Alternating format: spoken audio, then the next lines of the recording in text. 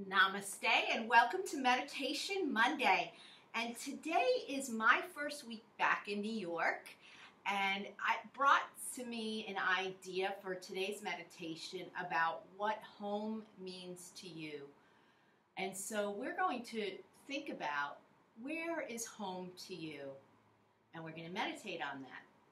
Is home to you where you grew up?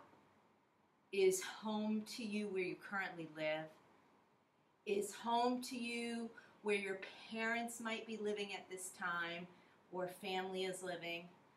So I want you to close your eyes, take a deep breath in, put your hands over your heart, and think about where home is to you and what home means to you. And picture it like you're going to draw your home in your notebook or take a picture of it and what it looks like. Can you visualize what your home looks like and who is in your home with you?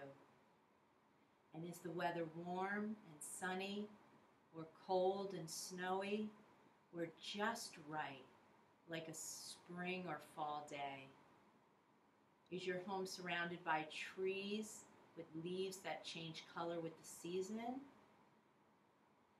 Does your home have a pool or a play set outside for the children?